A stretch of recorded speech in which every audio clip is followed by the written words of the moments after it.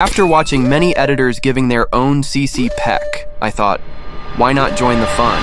As of now, Squid Game edits are crushing everywhere.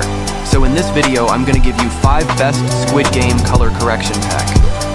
Each of them has different grading and environment. You can use whichever fits perfect with your clips.